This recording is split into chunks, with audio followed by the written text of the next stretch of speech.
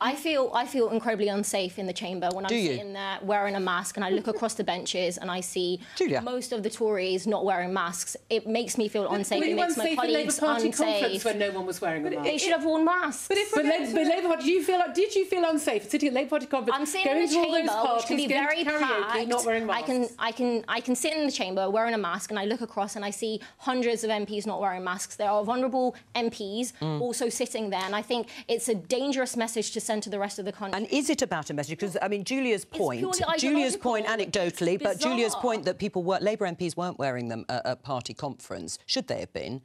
I think when we look at the case rate now, when we look at the issues in Parliament, when we look at the messaging that's coming out of the Speaker's office, this is dangerous to other people's public health. I think MPs should be wearing it in the chamber and around the estate as Why well. are you wearing one now? Right. Well, ha- because we're in the studio, we're socially now it's- distanced. now it's safe. Have you you're seen how a long way from the claustrophobic he can get in there? In, uh, right. Well, ha- in ha- When you're squished Can next to this? the Hang on, MPs. ha- It's hang on, you two. It's- Hang on. it's- it's- It is ideological. hang on. Let me just let me just oh. come back to the the, the issue in.